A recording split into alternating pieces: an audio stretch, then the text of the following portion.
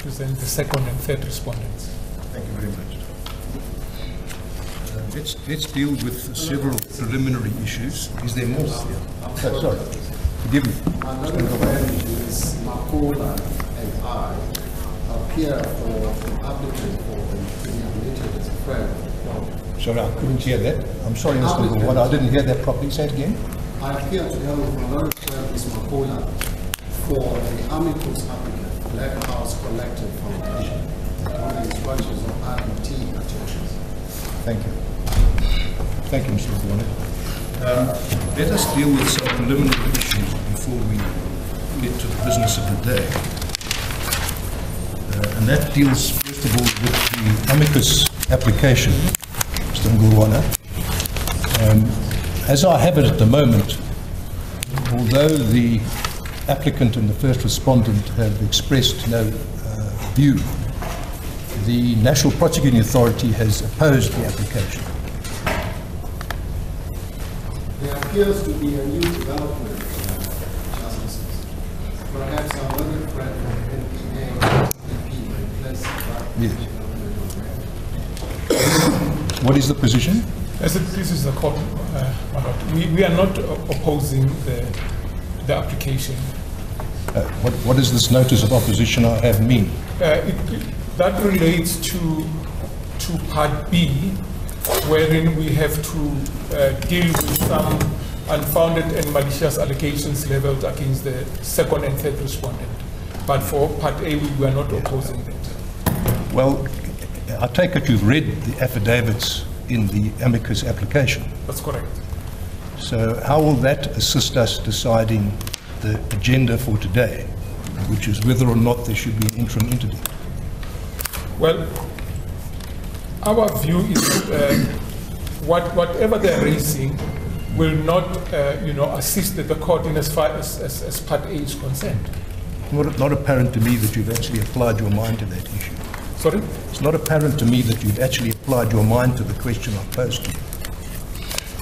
Is the, the uh, taking for granted that the amicus's contributions are relevant to Part B, what possible assistance can they offer this court, qua amicus, in deciding whether or not there should, should be an interim interdict? We, we we submit that, uh, uh, but we leave that to the court, but we submit that uh, no case has been made out in as far as, uh, as part, part A is concerned. Because, uh, you know, there, there's nothing that, that, uh, that they're going to, to add. All right, well then I think I understand you. Thank you. Thank you, Mr. Malvedi. Uh, back to you, Mr. Ngwana. Um, there's, a, there's a couple of issues. First of all, it doesn't appear to me on the face of it that the contribution you can make to this debate um, is relevant to this particular part. Uh, what you've set out in your papers will certainly constitute a material contribution to the debate in Part B. But over and above that, um, you've not sought to join the Minister of Justice, which would be a relevant step to take if you're going to challenge the constitutionality of the present arrangements concerning who is or isn't entitled to bring a private prosecution. So I would invite you to consider whether you need to amplify your papers in that regard. And our prima facie view is that you needn't participate in this particular set of proceedings, but uh, you should persist with uh, joining in Part B after and with the Minister of Justice, and uh, the matter can then be taken forward at that stage. And lastly, while I'm just putting points to you to comment on, um, reading the, uh, the thrust of several of your submissions, uh, you might want to reconsider whether you seek to join as an interested party rather than as an amicus. Uh, an, an amicus wouldn't, as your papers indicate, uh, be expected to uh, express partisan views, which you're entitled to. And it may be that the exact status of your joinder uh, needs to be uh, refined. Thank you. Well, Justice Sutherland, let me start with issue is whether we should be part of Part B and not part of Part A. Perhaps it's an issue that I'd like to address in detail. You will have seen in reading our both our years of argument, perhaps in founding, supporting argument for the articles, that we even to the papers of the president, that the president considers our submissions as being relevant to the determination of the application. I'm, I'm, I- perhaps I've uh, misstated myself. Um, I'm not addressing the question of whether or not it's appropriate for you to be part of Part B. I'm making that assumption. Um, I'm simply pointing to you this stage is it's not apparent to us that you have a substantial contribution to make to whether or not there should be an interim interdict. Well, then, then perhaps I should then address the board on that very question. Please. Very.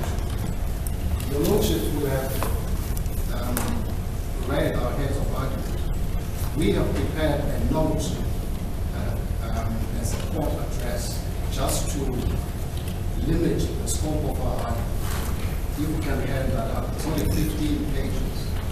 It summarizes the case that we make in our heads of argument as well as the, the, founding of the. Yes, I'd, ra- I'd rather you s- rather you skip that for the moment and simply uh, directly uh, address me on, on the point I've raised.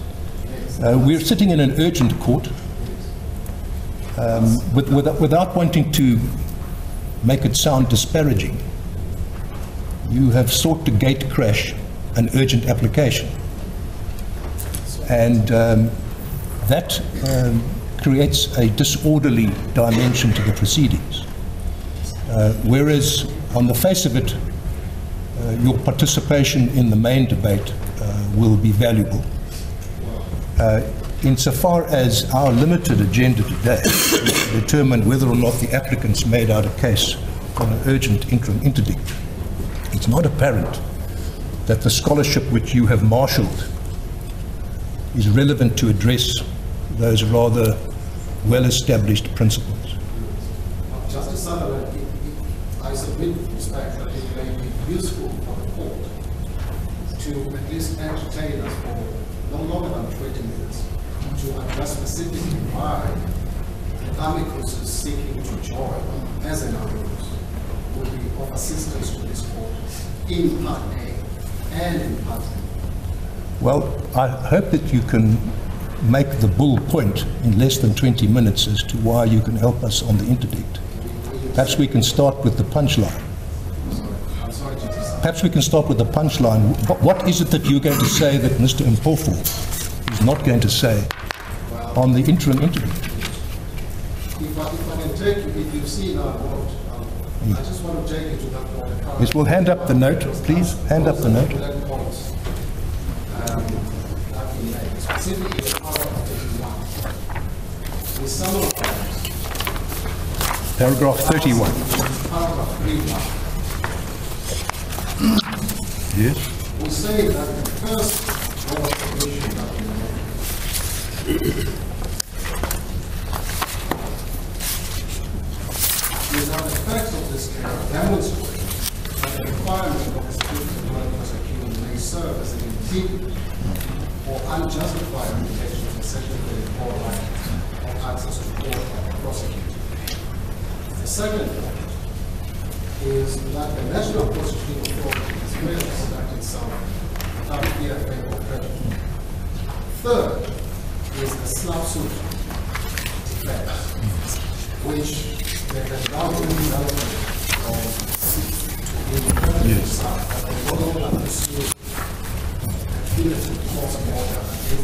representative. So that argument be slightly tailored. And the fourth point relates to the equality. We say all these issues are canvassed in great detail in our legislation. They are indeed, uh, they are indeed, and they're all relevant to Part B. Um, I'm, I'm, I'm, I, I will in due course be very interested in hearing you argue all of these in the second leg of this case. But today, the only agenda in this urgent court is whether or not the applicant has made out a case for an interim. And, and, and if, if what you have just pointed out to me, with which I was already familiar, is the thrust of what you want to advance, I appreciate the scholarship that's gone into what you put together. But um, I do not see how that will contribute, other than to lengthening the hearing uh, in dealing with whether or not there's an interim interdict.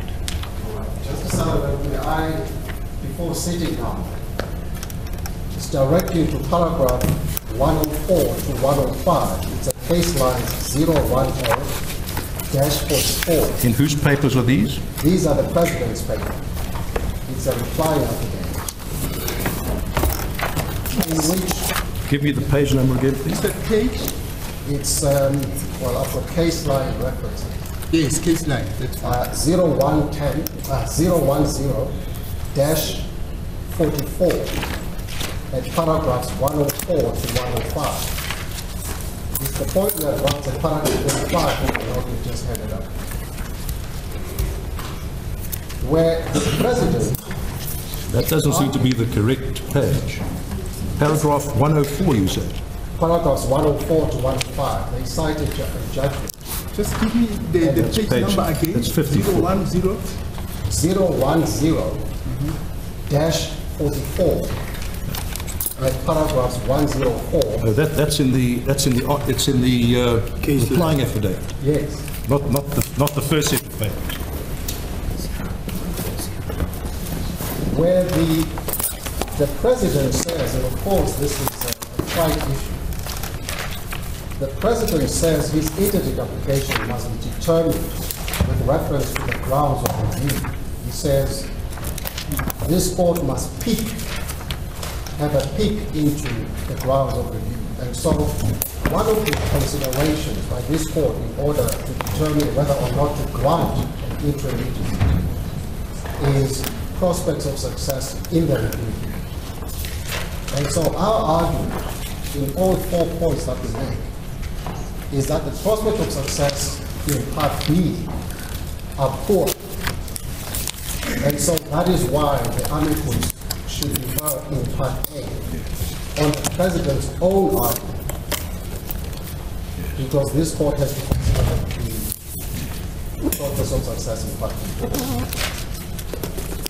Other than that, there's nothing more we can add. Thank you. Thank you, Justice. Is there, is there any comment that any other council want to make on this issue? I I need to clarify the instruction that my friend conveyed, that the president does not assist in a punitive court order in relation to all, both the litigant, the first respondent, and the attorneys will be asking only for a party and party cost against uh, uh, the first respondent. Mr. Mpofu, anything you want to add? Yes, uh, Justices, yes. Now, uh, the uh, remarks by Mr. Manager to deal with my concern. I would have raised the issue of uh, the punitive cost order being raised in Part A itself as uh, one of the issues raised by the amicus. But once the concession is made that Yes. uh, those considered. Thank you, Do you want to add anything, to Mr. Matabedi? Nothing. Mr. Guam? I'm sorry, Justice. We are Certainly. not making any concession that uh, the punitive cost order issue is not relevant in relation to Part A. Yes. Mr. Bowe, says he likes my concession, not his. Yes. No, I've got the point. Let's just talk about this.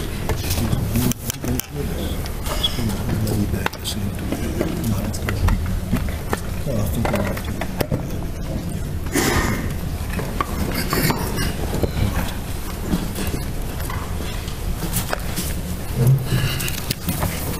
We've taken a view uh, that uh, we should not hear uh, the Blockhouse Collective Foundation as an intervening party in Part A. That statement does not in any way detract from any entitlement that that particular party has to participate in Part B.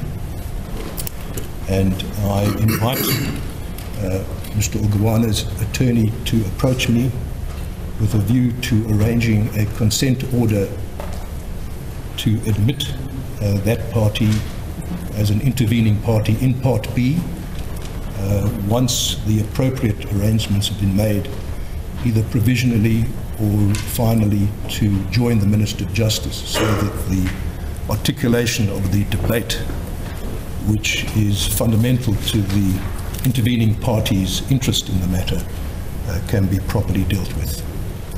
Thank you, Mr. Ogawana. I- I'm sorry, Justice. Uh, The point I forgot to make is in relation to the joint of minister. You will have noted, both in the founders affidavit and in our heads of argument, that we make it absolutely clear that we are not launching a constitutional attack. We are simply saying the court should consider those um, submissions that we make, not with a view to determining whether or not there has been, there is constitutional invalidity, in- specifically in relation to section seven. So Very well. it Well- would not be necessary for Well- us to join the Minister Well, of Justice. that, if, if you limit your contention to that, then it's correct. You won't need the minister. But um, obviously, um, that's one less arrow in your quiver. So that's, that's a choice you make. Thank you. motion. So, Mr. Mpofu? Well, before the, we celebrate that uh, withdrawal, I, I, I- I will take those remarks as uh, applying to me because we do intend to raise that issue in public. Yes. Let's. Yes, indeed. Well, it seems that um, your pragmatism has been overtaken by Mr. Mpofu's zeal. Well, we took the view that the amicus will not have the, uh, the way forward. No, I, I, I take that point. Can, can, I ma- can I make this preliminary observation? Um, I've said it twice already, so let me emphasize it now. Uh, there's, a, there's a great deal to be dealt with in this controversy. We are not going to trespass on the relief in Part B. Uh, that involves many very delicate issues which require to be dealt with unhurriedly and with reflection. The agenda for today is to determine whether or not there should be an interim interdict pending a date to be arranged for that hearing. After these proceedings, I will invite the parties to see me about the earliest possible date for that hearing to take place and uh, the extent to which we need to hear argument today is limited to the issues which are relevant to the interim interdict. As I have them, other than some frills which I shall deal with presently, uh, the jurisdiction of this court to even consider this relief is point one. Point two is whether it's urgent. And the other four issues relate to the traditional elements of an interim interdict. That is what we need to hear argument on. Uh, we will give a judgment and an order on that, and with such expedition as is prudent, uh, get to round two in this matter in due course. Uh, to that end, although there was a very generous indication by one of the council about how many days this matter was going to take, uh, we are of the view that the issues are of such a nature that we can do justice to this matter if we give to the applicant um, 60 minutes to present its case, to the first respondent 90 minutes, uh, to the MPA uh, an opportunity to say hello, and uh, to the applicant uh, 20 minutes for a reply if one is needed. So that will be the agenda for the day. As it is, Excellencies, the court. Yes, uh, well, there's five of the council, not one. But uh, be that may, I just wanted to, from that summary, my lord, I gather implicitly, without saying it, that uh, your lordships are not inclined to hear the uh, preliminary points regarding whether this court, as you correctly put it, should even be sitting here, or whether the matter is urgent uh, upfront. Uh, Am I correct in that? I, I do want to hear you on both those points, and, and obviously what you have to say about the interim interdict itself. So that seems to me to cover what needs to be dealt with today. So, so I appreciate the jurisdictional point is, is a leading point you want to make, and I do want to hear you on that. I'm sorry, maybe I didn't uh. You mean as a preliminary approach? Yes, uh, yes, I'm asking whether, uh, the real question I'm really asking is whether we're going to have one stage or two stages. So we'll have one stage. Yes, okay. Now, if we're going to have one stage, then, uh, which I always support, subject to, of course, my right of reply on the preliminary points, uh, which, that's the one. Yes, yes, Thank you. In other words, on the, on the uh, points in the minute. Yes. You. Right. Let, let, let me deal with some points which are unworthy of consideration, which have been raised on the papers. Um, I deal with them in no particular order. There's a complaint raised about the clumsy commissioning of the founding affidavit. It was clumsy. Um, it is, in a sense, inexcusable, but it's the practice of this court um, not to take that kind of complaint seriously. And the fact that the affidavit has now been repaired by the Commissioner giving the relevant information uh, is sufficient for us to overlook that point. The same thing goes for the omission of a case number. Uh, We take a similar view about the point raised about whether or not the security which the respondent, first respondent, was supposed to pay before the summons was issued was actually paid afterwards. Uh, We are not interested in that point either. Uh, To the extent that condonation is required, uh, it will be granted in due course. Uh, There is also another point about whether the National Director of Prosecutions should have AO nominee been joined rather than the National Prosecuting Authority as a whole. We are not interested in that point either. And um, that, that really disposes of all the precious points. That leaves us to get to grips with uh, what the case is really about. So, at 10:28, Mr. Manechi, your 60 minutes begins. Lord, with the court's guidance, I shall deal first with the question of jurisdiction, then address the question of agency and the requirements. Just by way of the background, the the CRIPS issue really is whether the, um, the private prosecution may be interdicted pending Part B, where in Part B, the validity of the summons, in other words, the root of the prosecution itself is challenged.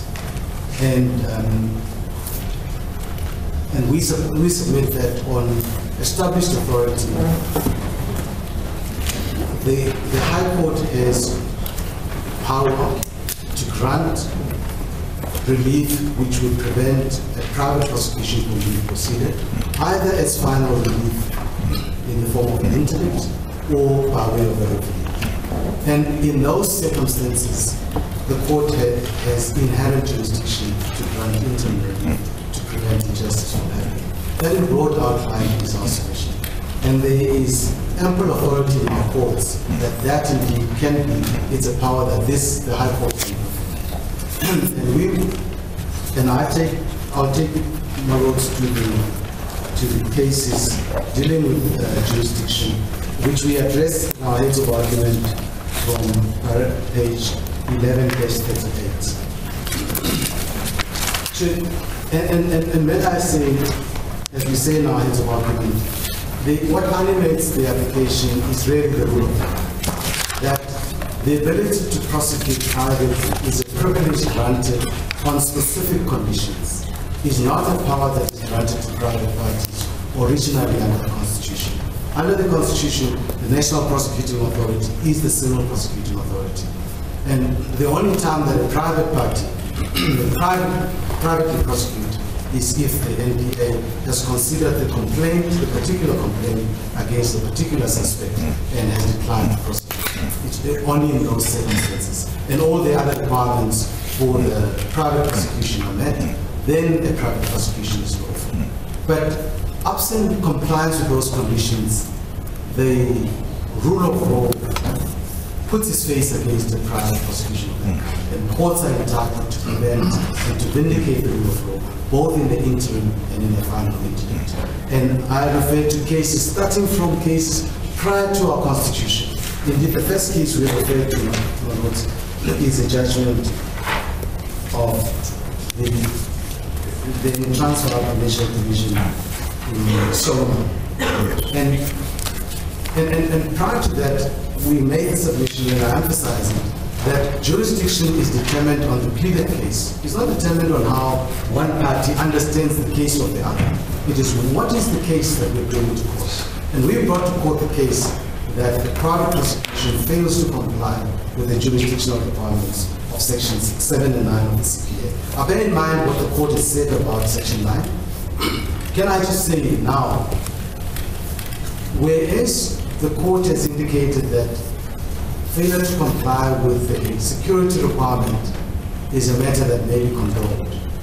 What we have before you, my lords, is confirmation by the applicant in the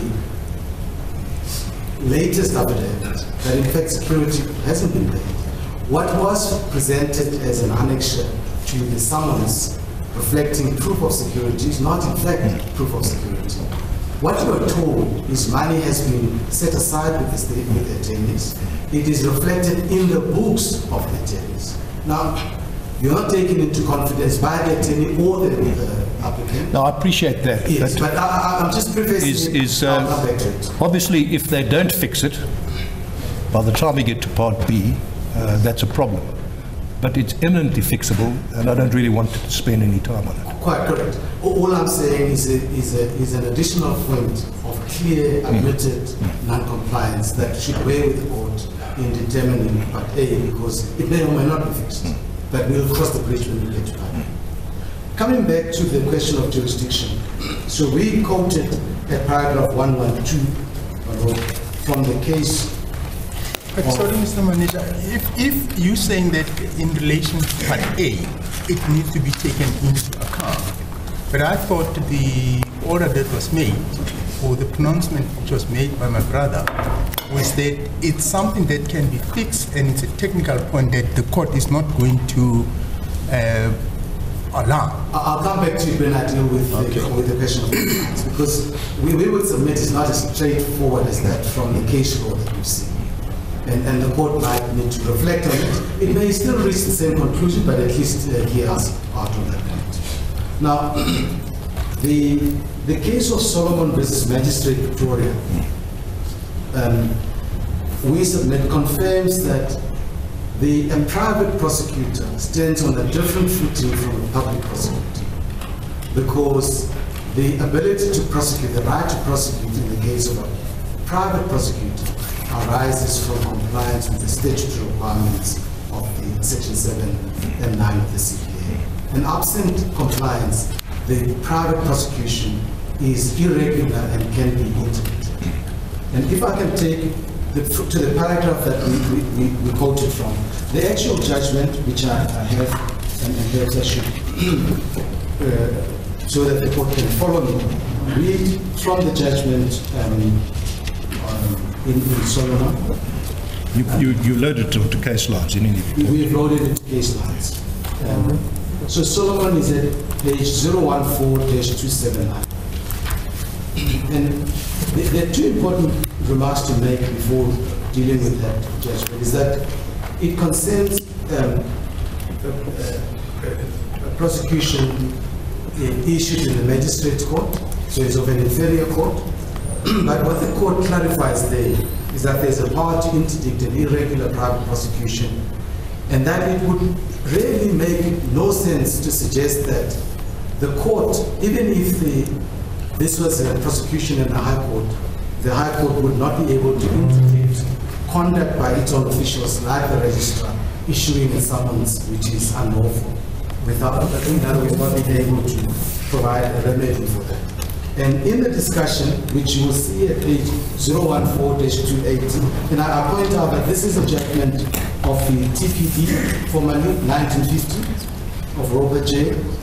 And Mr. Mr. Ma- um, you say it's 014 dash Dash two, two eight zero, 280. yes. Thank you, sir. Um, what you will see at the foot of the page, the paragraph saying, I can find in the sections relied upon no evidence.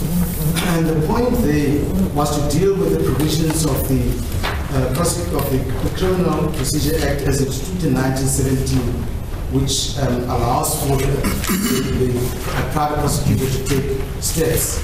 And, and the argument was some of these provisions, including the provisions in the Criminal Procedure Act, exhaust the powers of the court to intervene and grant interim relief where private prosecution is complained to be unlawful. And what the court says at the foot of that page is, I can find in the sections relied upon no evidence that the provisions relating to the cost of unfounded and vexatious prosecutions or the title of the prosecutor to bring the proceedings were intended by the legislature to be exhaustive and to exclude any right to invoke the assistance of the Supreme Court as the applicant now does. You recall that they argue that because you can raise the title of the prosecutor in the actual criminal proceedings, and you can get costs if those proceedings are unsuccessful, that means you must go there and raise your complaint there. You are in, in a wrong court. And the court says that can be, doesn't exhaustively exclude the jurisdiction of the.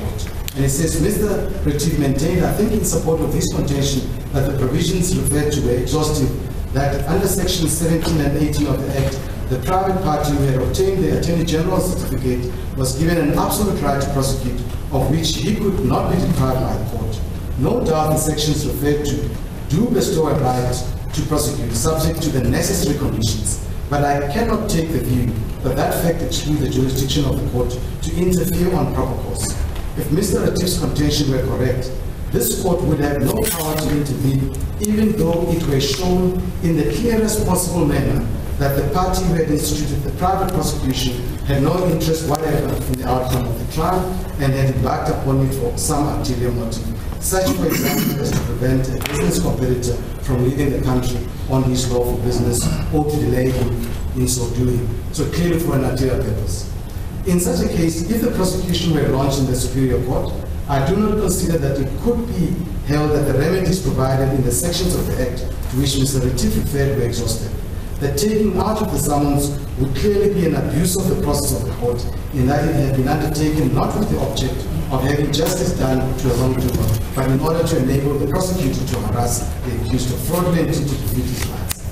The process of the court provided for a particular purpose would be used not for that purpose, but for the achievement of a total, of a totally different object, object, namely for the oppression of an aggressor. The court has an inherent, inherent power to prevent abuse of its process by frivolous or vexatious proceedings. Um, and though this power is usually asserted in connection with civil proceedings, it exists in my view equally where the process of is not provided for in the conduct of a private prosecution. Such cases are postulated, therefore this court would in my mind, by virtue of its inherent powers, to set aside um, aside a criminal summons issued by its own officials or to interdict further proceedings upon it. It is also by virtue of its inherent power that court interferes to restrain illegalities in inferior courts, either by way of interdict or mandamus or by declaratory order. And you'll see in the, the paragraph just below the quotation, and uh, it says, refers to Mr. Retief referred to Rex Deere, said that the right and duty of prosecution was absolutely under the control and management of the Attorney General. That was the submission. And so long as he complied with the provisions of the law with reference to prosecutions and trials, the court was not entitled to interfere. He argued that similarly, a private prosecution was absolutely under the different, under the different, sorry, under the control and management of the private prosecutor and that the court could not intervene. The case, my emphasize this point, my the case of the private prosecutor is, however, different from that of the Attorney General, in that the title of the former, either the private prosecutor, to prosecute is conditional upon his possession of such an interest as is described in the Act, and the court is therefore entitled to inquire into the question whether he has such an interest or not. So the civil court can, um, can, can provide remedy, It can inquire into the issue whether this is a prosecution properly authorized under the uh, CPA Section 7, Section 9. The next case I refer the court to is um, the Van Deventer judgment. That is 1996. And, and the court will find that at 014-285. And that is a judgment of the Cape Provincial Division and also concerns the private prosecution of a judge on, on the basis that the private prosecutor perceived that the way in which the judge dealt with the, with the, with the matter um, disclosed an offense. Does that, does that uh, case offer any further principle or simply simply- another example of the same proposition? Yes. Uh, What it does is it does go to the deposit and says at least 1,000 rand was paid in that case uh, as a deposit. But I- I, I take the court's uh, com- com- comment on this one. And the- the second, the third case, lord, we, we offer is, is the Nedcor Bank Limited and another was Gcilitshana is a judgment of the Eastern Cape Division, judgment of Erasmus J, 2003, also dealing with a challenge to a private prosecution that was not inconsistent with the, with the, uh, with the, uh, with the, with the, with the CPA. And Just give- Just give the full reference while you're the full it. reference, um, so the, the, the case line reference is 414-176, but the full reference is Nedcor Bank Limited and another. This is Gcilitshana, this GCI, LI, TSH, ANA and others, 2004, volume 1, SA 232. And that Also deals with um, uh, the question of powers of the High Court. And it says paragraph 27 of the judgment, which is at page 014-180. Ordinarily, this is dealing with the question of motive and whether it can feature in determining at a civil, at, a, at an intellect stage, whether a prosecution should be permitted or not, how the prosecution is lawful or not. Says between paragraph 27 and 104-180, ordinarily the reasons and motives of a party for institutional legal proceedings are irrelevant. However, when the court finds an attempt made to use for ulterior purposes machinery devised for the better administration of justice, it is the duty of the court to prevent such abuse.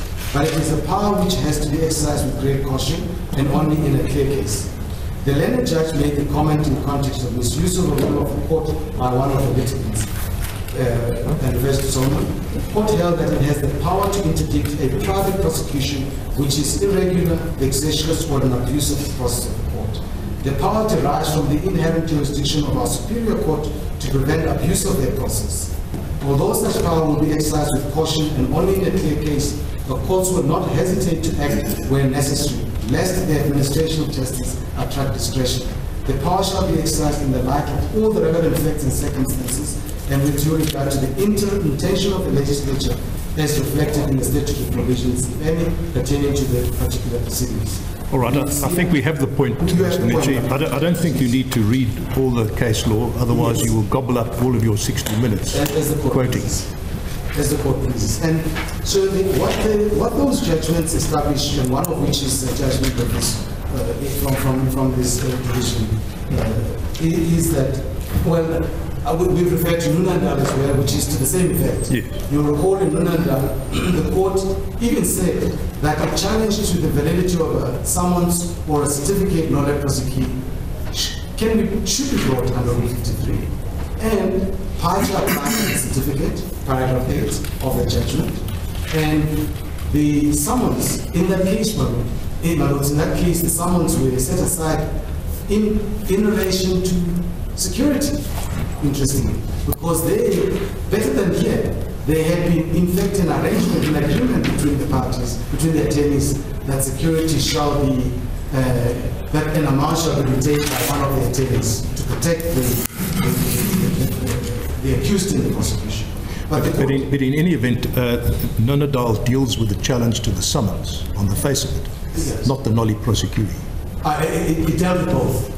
It found that there was no ground for challenging the certificate, nolle prosequi, but found that there was a basis Yeah. for, for the nolle, for the summons, and set aside the summons and left the, the certificate. But the point I'm making is that the whole private prosecution in that case was invalidated on account of the fact that there are two, there are two grounds, procedural grounds, and the court will find the discussion of that in that um, paragraph zero, page one, zero one four, dash one nine nine, at paragraph forty-one to forty-five. The first was, there was no evidence presented that when the registrar, the clerk issued the summons, uh, the certificate was presented to the clerk. So it was a procedural matter. The second was, the security was not deposited prior to the summons being issued. And in the language of the statute, one, uh, the court doesn't have power to condone, and, and that is a defect, which can easily be rectified. But the court doesn't have to assist a prosecutor who comes to court firstly says, there are summons, there's an annexure proving security. When he's challenged on it, he gives uh, stories and only at the very last minute files an affidavit which he says, I haven't paid it.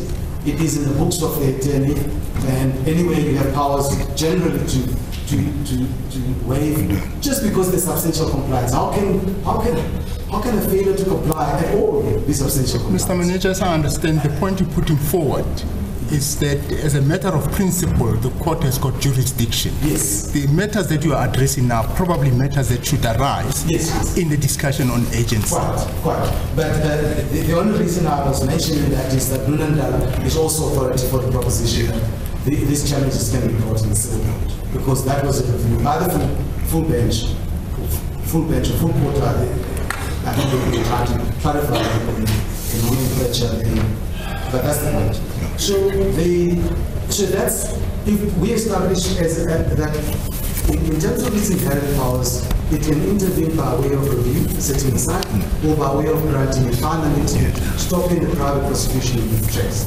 And the only question I need to address is, well, if that is the case, um, is there power to grant interim relief pending either the review or the, or the, or the, or a final interdict. And, and, the, and the, the job for me there with respect is, is a lighter one, because once a power, once the court has the power to hear a, a review, the Part review, it has inherent power to grant pen- pending relief pending the outcome of that review to preserve, in the interest of justice, for the proper administration of justice, in the control of its own process, but also to prevent any injustice from occurring. Because the injustice we complain about here is being hauled before a criminal court when the proceedings are at root, at root, are invalid.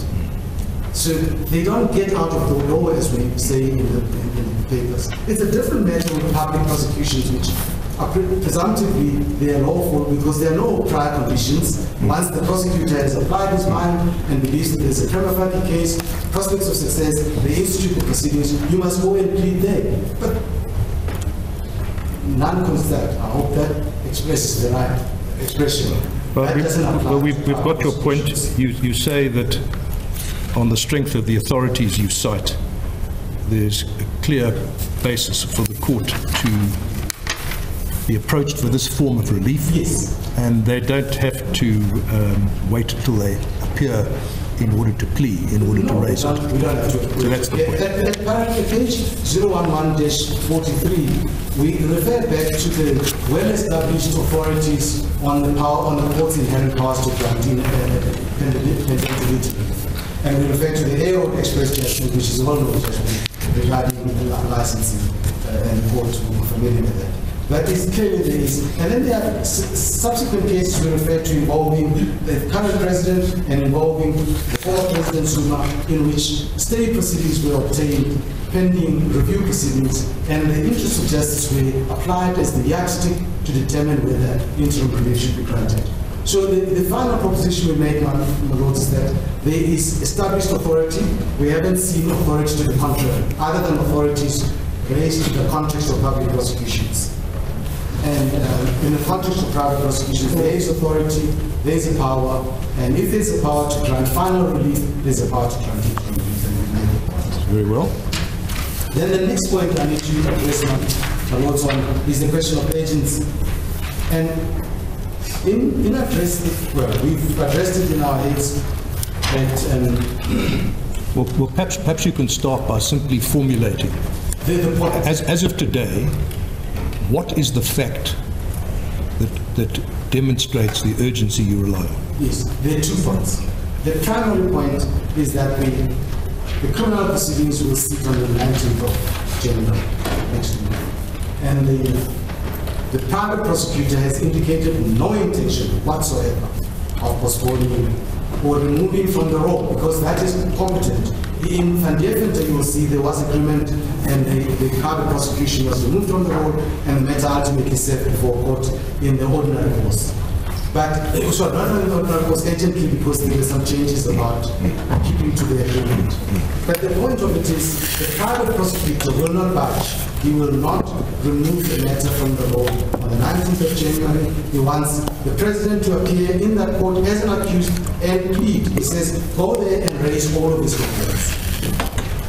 That pregnant in that statement is accept the breach of your constitutional rights, of your rights for protection in terms of the rule of law, that you're not in, no one is entitled to hold you before a criminal proceeding, private criminal proceeding, when the provisions of section 7 and 9 have not been complied. Now, my client has no other remedy to avoid that. It, it will happen on the 19th, and that breach of his rights, by being hauled before that court, remaining in attendance, cannot be reversed. So it's not a case where he can wait till next week and get a remedy or some other time and get a remedy that will, that will substantially assuage his uh, breach of his rights. That's done. And, and you'll see Deventer, and we go to now. But they, they're saying that you have a right to go before that court and plead to that, and that seems to me an alternative. Yes. My lords, so the court has said that the substantial remedy that you're talking about is a remedy one can obtain in law. Right? So the law provides you protection. Now, when he says, go to that court and plead, you have a right. Of course, we have a right to go to that court. But we also have a right to assert our constitutional rights and say we cannot be hauled before an unlawful private criminal proceedings. We have those rights. And my client has decided to assert the right that this is entitled to approach this court to protect him from being, from having his rights trampled upon by a private prosecutor who, prima facie, and that's the case we have today, prima facie is conducting an unlawful private prosecution. It's not only unlawful, for the submissions we're going to make on the non-compliance, which I'll do in a minute, the non-compliance has significance for the constitutional scheme as well. Because if we can persuade lords that the non-prosecution certificate that he relies on, on his own facts and on the chronology that he gives, cannot relate to a crime committed by the president after the 21st of August 2021. Well, you're, you're on to arguing what the prima facie right is composed of. Yes, so the prima facie right, um, I'm digressing quite right. The prima facie right is to be protected against a private prosecution that breaches the rule of law, breaches his constitutional rights. He's got an inherent, he's got a constitutional guarantee under the Constitution that his freedom of movement, his, his, his, uh, his liberty and all of those rights cannot be infringed by a private prosecutor acting illegally as this private prosecutor is doing. That's the first thing. Well, well let, let, let's just uh, focus in on the critical bit. Um, one can say it in many ways, but fundamentally what you're saying is the personal freedom of the applicant is being jeopardized by a prosecution, uh, by a prosecutor that has no title to do so. So that, that's the right. Um, Why, why, why, why is that an appropriate formulation of the right to on? One of, one of the contentions advanced by the first respondent is that um, every inhabitant of the country, if charged with a crime, um, has an obligation to uh, submit to that and come to court and say whatever they want. So when you say, I have a right not to be brought to court at all, what, uh, what, what, what, where exactly do you seat that right? In the Constitution, in the common law? Where do you find it? Uh, Perhaps I should, I should uh, uh, add submit to the proposition I made. So he's got the right hold before court in a private prosecution not authorized by the, uh, by section 7 and section 9 of the CPA. Because that is the only source of the power that uh, the prosecutor can, can, can exercise. That's the only power the prosecutor can exercise. It must be, it must meet those conditions. So it's not just a general right that every individual enjoys in respect of public prosecutions. And that's why even the cases I referred my words to make a clear distinction each time that the position of a private prosecutor is different from the position of a public prosecutor. So one can make the point that if the right authority, the NPA, has issued a summons to you to appear criminally in the court, uh, all the conditions are met, and whatever defenses you raise. But in a private prosecution, the position is different, because you don't get out of the statement block as a private party to get into court. I, I'm trying to think of an analogy that can come up even in a public prosecution. Assuming that the Constitution tells us the civil prosecuting authority is the NPA, that you were judged by the NIA and told to report by the so any other authority outside of the NPA, and it was so obvious that this is not a constitutional prosecution, it's not a lawful, legal, nothing, there is no legal foundation to it. We would submit, although we are not there even, we are less than that position, that even in that case, it would be hard not to foresee a situation where the civil courts can be approached to prevent clear, a clear breach of our constitution, the constitutional scheme. So, so your point is this. If I am, in terms of the Constitution, vested with rights of freedom, should the state prosecute me, that's an intrusion on my rights of freedom, but it's lawful because it's authorized. Yes. And if a private prosecutor wants to intrude on my freedom, it can only do so within the four corners of a nolle prosequi. Justice Sutherland, I could. So, so, so if, if you had um, a proper case to challenge the validity of the nolle prosequi, then that author- authorization of the private prosecutor would evaporate. Yes, both, so it, it might be a defect that affects the summons because there is something wrong with the notice, but it might be a defect in the summons itself, either in the manner in which it was obtained or the conditions attended to its obtaining is not consistent with the section 9. So Well, well, what, what, what plausible contentions exist on your argument to doubt that this nolle prosequi uh, doesn't vest the first respondent with authority to bring the applicant before a criminal court? Uh, Just before that, I don't want to forget that I was going to put a second element to my agency. beg your pardon. Yes. So we, we, the, the first respondent says, well, your agency was in relation to the ANC conference, and that is come and. But what he doesn't acknowledge, which we have referred to in our heads and in reply, is that the step aside rule, in fact, continues to apply. So if he is hauled before the criminal court, those of his detractors in the organization, including for present purposes, um, in this context, the first respondent will say, well, uh, now you are criminally before court.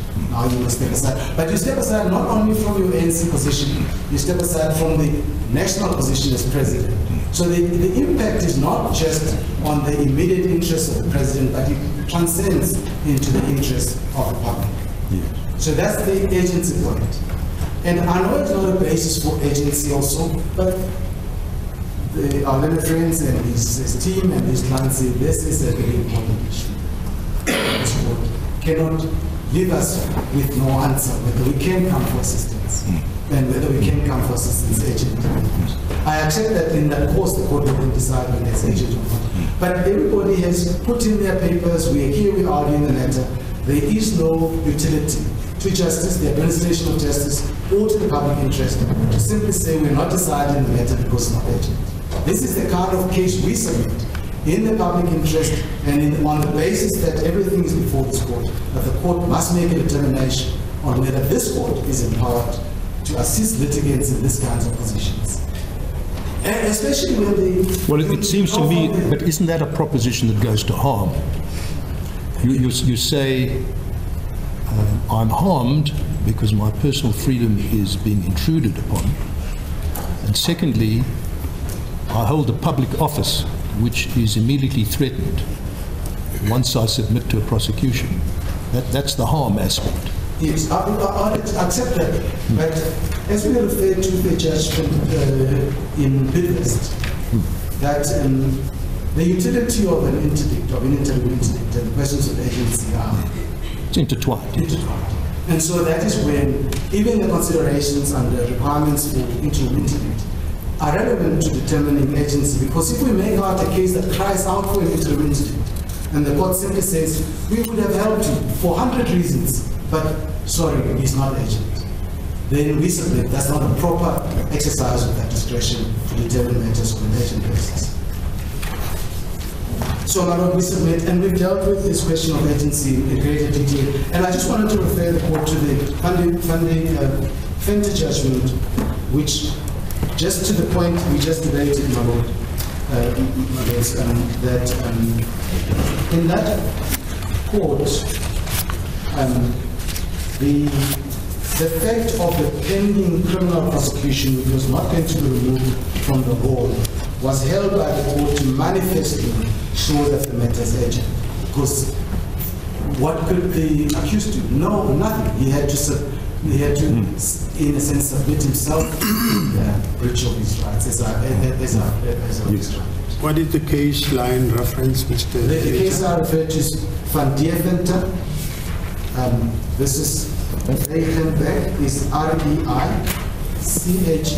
R-E-I-C-H-E-N-B-E-R and another. And on case line? It's page? 014-285. And um, I'm asking for my, my, uh, here. oh, here.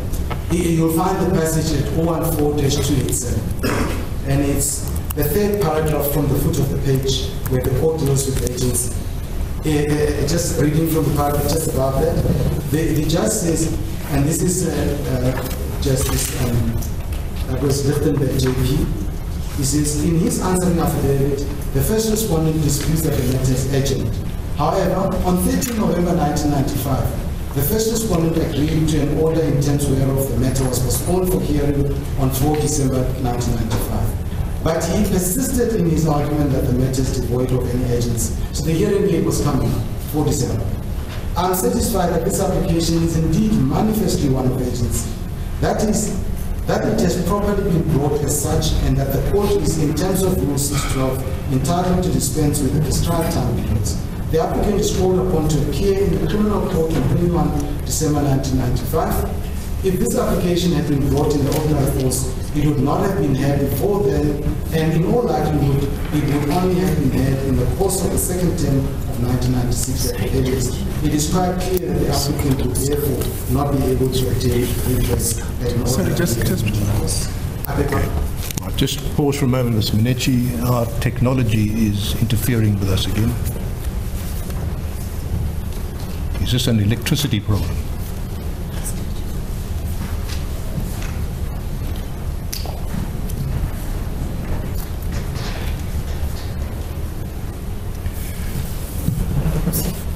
Apparently the recording device has malfunctioned. Uh, But let's carry on in any event. Yes, so I was just reading that point about, I don't know if, uh, I don't know if the court wants me to repeat the. No, don't, don't do that, we've got that. You get the point, yes. So that's the judgment. Um, So we we submit that that is a a salutary um, approach to to what we need for this court. And I turn to the question. Oh, the- second point about criticism on agency, of course, is that he should come uh, on the 16th or on on the on the holiday because he was concerned about election. Of course, the the point is, the, the- as you say, the- the risk continues that the step aside uh, is there. And secondly, he, he genuinely asked the, uh, the first respondent to withdraw the summons, explain what the problems were with the first summons of the 15th of December. There was a conditional offer to withdraw and re- reissue in order to cure the defects that we identified. And when the first the applicant said, no, withdraw unconditionally because there are incu- incurable defects. Then the applicant, the first respondent issued a second summons on the 21st of December. And it was clear now that the applicant has to come to court. And the applicant came to court. Six days during the festive season, another friend complained with me about disturbing his holiday. We know what happens during the festive season. It's not easy to marshal legal uh, uh, representatives to put together an exit application. But the best was done and sufficient time was, was granted. And in the event, the court granted directives which allowed for further time for the exchange. Now, going to the requirement, to the, to the question about the uh, nominee. But the, the, sorry, Mr. Manager, the withdrawal of the issuing of the second summons, doesn't that tantamount to a withdrawal of the first? And, and therefore rectifying the defect that you were complaining about?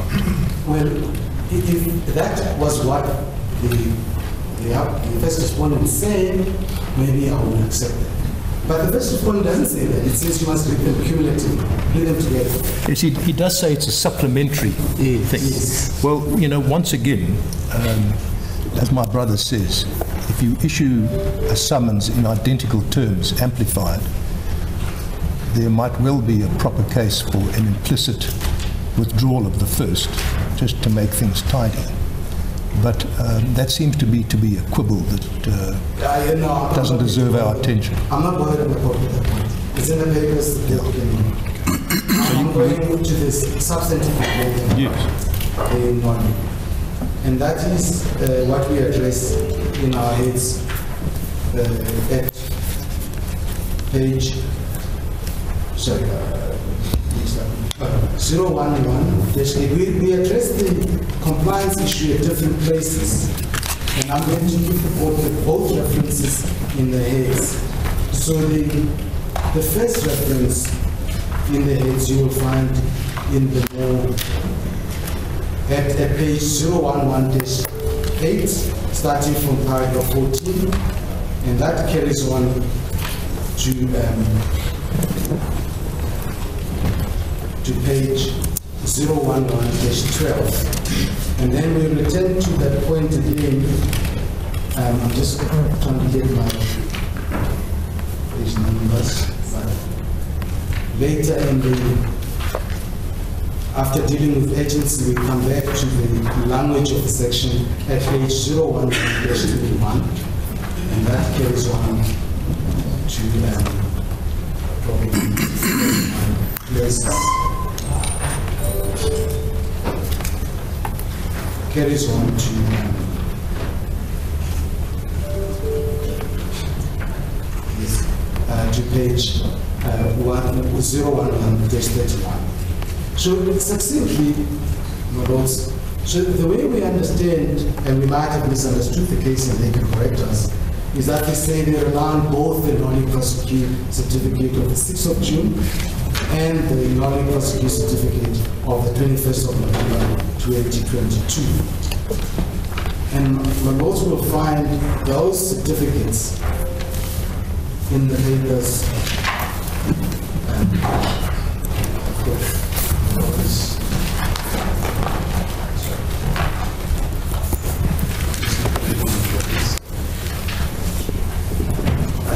21, the 21 November is at 001 dash 166. Dash one?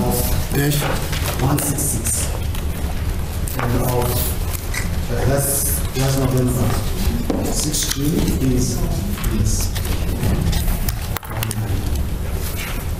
So our, what, what I need to s- persuade the court is that in fact, the certificates do not relate to an offense against the president, but to different persons and to different offenses. And at page, I don't, perhaps it might be useful to go to the certificates to see the language employed. So if if, if the court is at the 6 June uh, certificate, it's a different place. There's another one at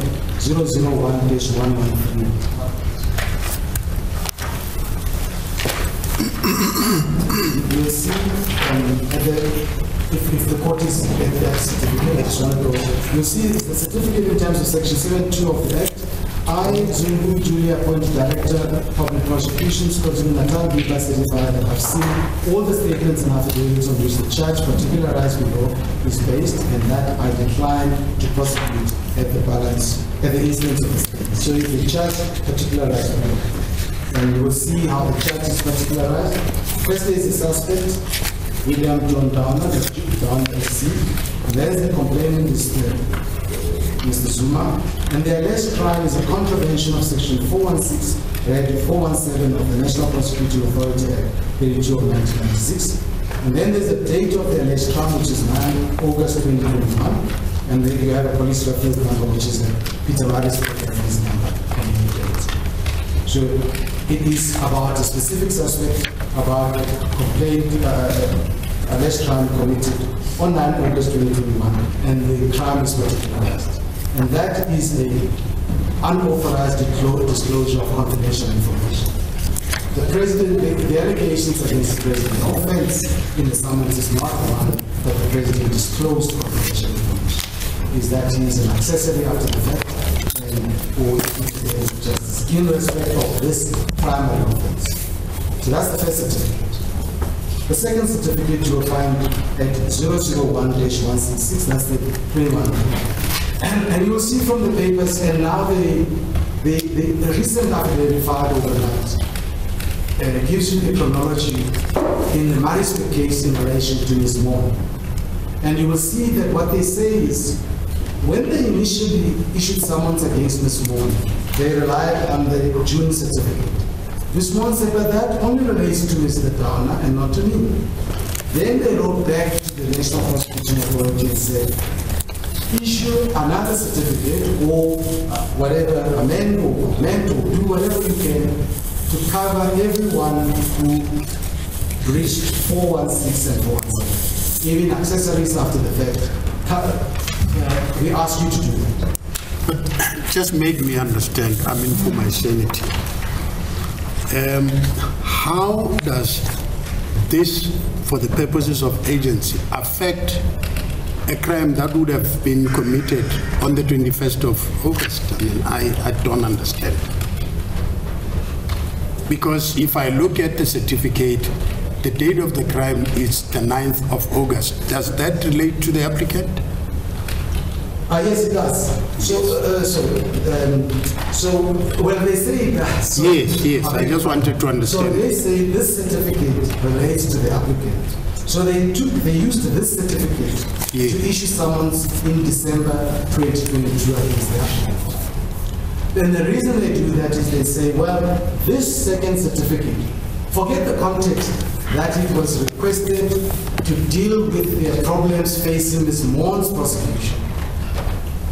They say, well, because the certificate says prosecute any person in connection with this matter, that means even though on the, the president only comes in because on the 21st of August 2020,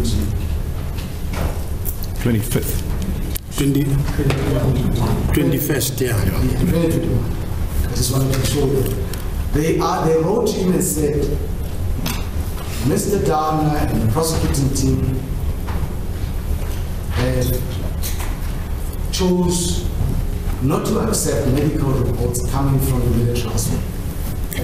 And Mr. Manager, do you understand why I was asking? I don't understand. Yes. Just help me understand. Yes. Can I, can I try that? Yes. So our, our primary submission is that none of these two certificates relate to the president. They relate, firstly, this relates to Mrs. Mr. Downer, the June certificate, and the correction or the expansion of the certificate in November 2022 also relates to people who committed a crime on the 9th of August 2021, because that's what the certificate says. So it says uh, you must uh, refuse to, so let me just read. I, Elaine Zungu, duly appointed Director of Public Prosecutions, KwaZulu-Natal, hereby certify that I have seen all the statements and affidavits on which the charge particularized below is based, and that I decline to prosecute any person in connection with this matter at the instance of the state. You're still on the charge particularized below. And that charge particularized below is where the complainant is Mr. Zuma. What you don't have anymore is a suspect. They've removed the suspect because they want to catch everyone. But that's not good enough to catch the president because they still tell you that the alleged crime, the particular, particular charge relates to the contravention of 41.7. That is the disclosure. And the president is not accused of disclosure. They go further and they tell you the date of the alleged crime is the 9th of August of 2021. It's not a date later than the last of August 2021. But Mr. Manager, in as far as the applicant is concerned, my understanding is that the complaint is based on accessory after the fact. Yes. So just help me also understand because they're saying you failed to deal with the offenses committed under uh, section 4 by the two other accused. Yes. So the, the question, the rhetorical question we ask is where in this certificate do you get the impression that the DPP was considering the president's failure to investigate this contravention, and it is that failure that makes it an accessory after the fact. But isn't it, the, they, they, they would then argue that, that in reading the formulation in the uh, certificate itself, any other person Well, but you can't, as the have said numerous times, starting donkey years, you don't take any person, put it on the chalkboard and read it and give it meaning. You read it in context. The context here of the certificate, before you get to the background, which I will show you, that even that is against the, the first respondent. The, the, the, the, the certificate tells you that the charge is particularized. Firstly. And, and you recall that there could be more than Mr. Downer who disclosed confidential information without the authority of the MD. So that, that might be a potential in person. But the way they help you understand who it relates to is they tell you the charge is contravening section 417, firstly, and that crime, that contravention was committed on 9 August 2021. So you would have to find that the president was an accessory after the fact on 9 August 2021, and therefore this certificate covers it. We- we've got your point. Yes, You- and the you- you- chronology says no. You say in, in, any, any person has its own problems, but assuming it could include the applicant, Yes. um, the DPP has identified a time, place, and offence Yes. which can't relate to what has been alleged in the summons. That's your point. Which, which they say, they say in the answering affidavit, they say they say that the alleged, the alleged offense of accessory after the fact occurred after 25 August 2021. So they just place it outside of the certificate, on their own version. Well, accepting for the moment your proposition on that, uh, why, why can't the nolle prosequi be read purposively to implicitly include any person who um, was involved, let me use that as a neutral word, uh, without going to the petty bureaucratic detail of having to spell out other dates and, and, and other competent verdicts on, on what is the principal crime. It Seems to me that's, that's the thrust of the first respondent's case. Yes. Is that it's a, it's a petty interpretation you make of the nolle to, to treat it in an unduly literalist fashion. Yes. So there, there are two points to make. Is my, my lord, the, the question put to me, uh, Justice Sutherland, is a sound one, but it will still be limited by the other contents of the certificate. So if any person, yes, involved in the matter, but involved as at 9 August 2021. You can't have any other person involved on the 25th of August 2021. That's the first point.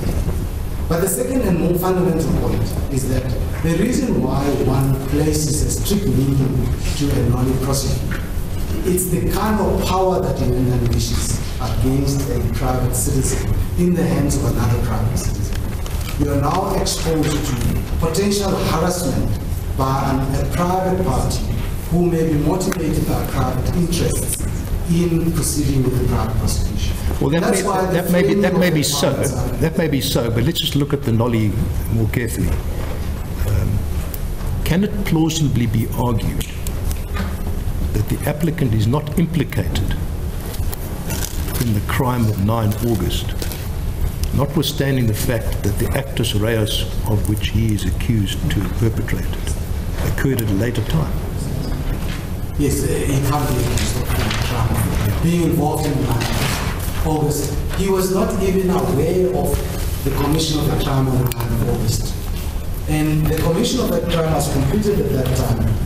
The only time he becomes informed of this is in the letter of Mr. Zuma of the 21st of August, asking him to investigate.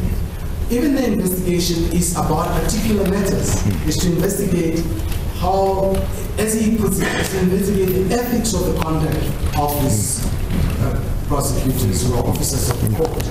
And what the president does on the 25th of August, he doesn't ignore this. He says, he writes back to the president, and says, this is a very serious matter.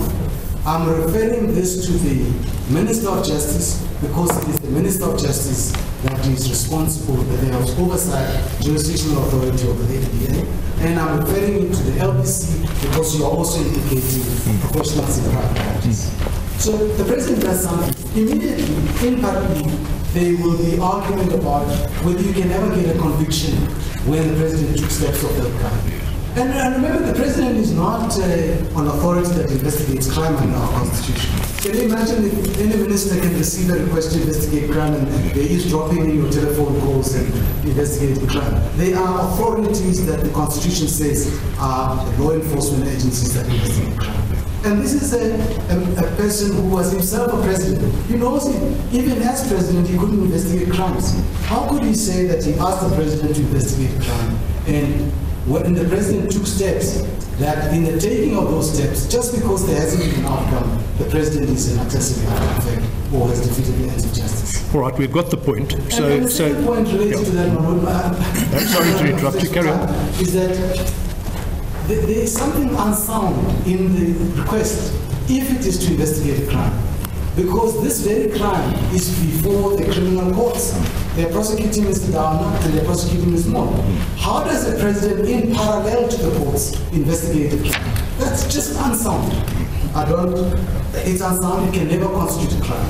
And, and- and it's the same kind of reasoning the constitutional court has said about the exercise of powers by the public protector. So, so, so you, you've, you've got, you've got these several criticisms which will be the subject matter of Part B.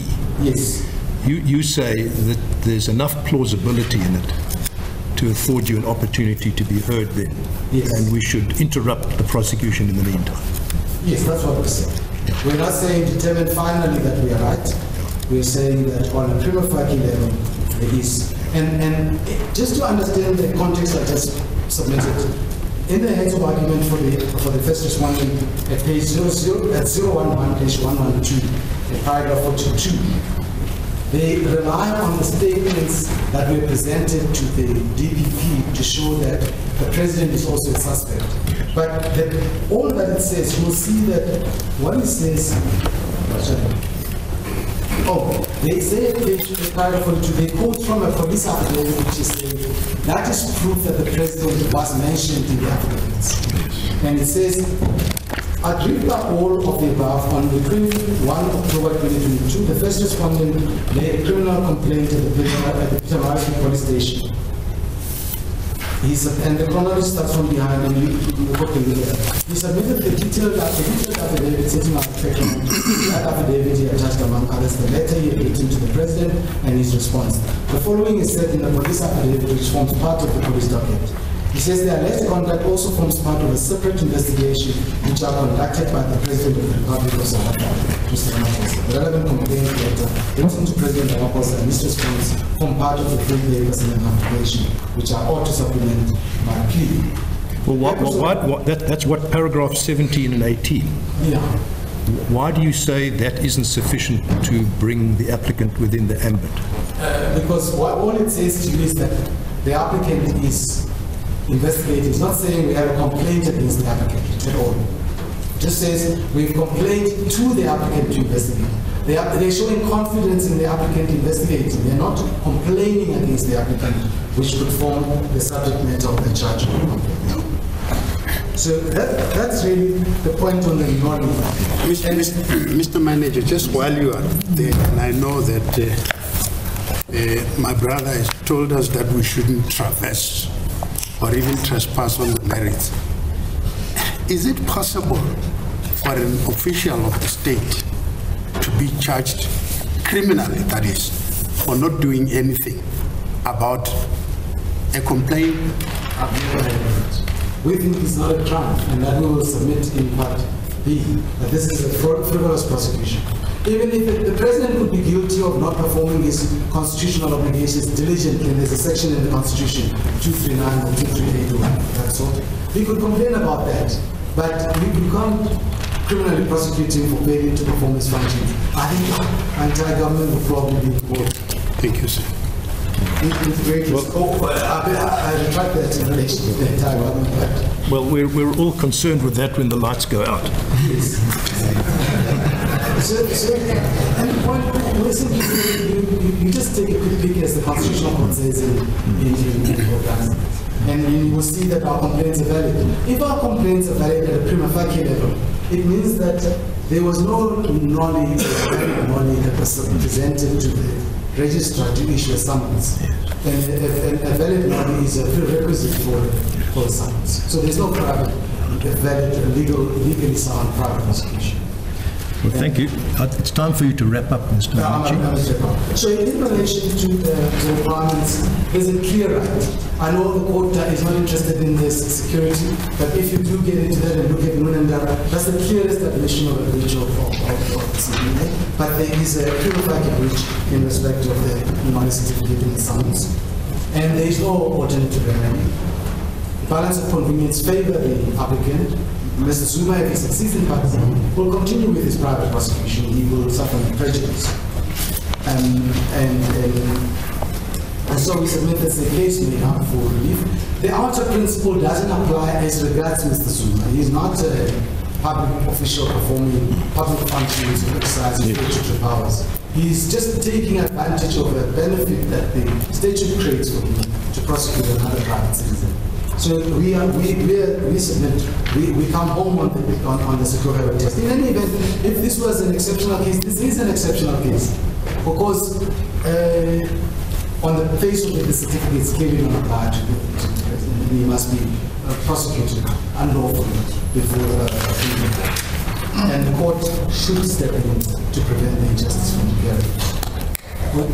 So those are submissions, and what we will ask in the notice of motion is to ask for prayer 2.1 just against the first respondent, and prayer 2.2 to the extent that the court uh, finds it necessary to go that far, we submit that once 2.1 is granted, criminal prosecution can proceed. And we don't uh, specifically order the president. And we only ask for costs on the party scale way. Is there any reason why the cost shouldn't be reserved for the Part B? You decided. It's in the court's discretion. Thank you, Mr. Manager. We'll, we'll take a brief adjournment now and come back. It's, um, we'll, the court will resume again at um, 11:45.